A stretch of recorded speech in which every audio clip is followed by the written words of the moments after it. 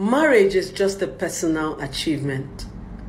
I am appealing to a lot of women on this video. Marriage is not commitment.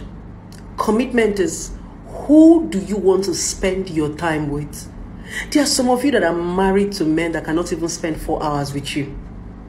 And you are suffering in the marriage. Some of you are married to men who have dropped you in the house like a furniture.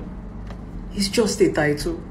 Commitment is how much time they spend with you, how much friendship they build with you, how much you know this person.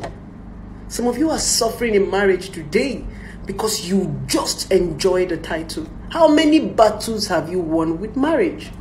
No. It's time for you to unlearn all those things you have learned and relearn new things. Learn to build friendship. Learn to know people you are marrying.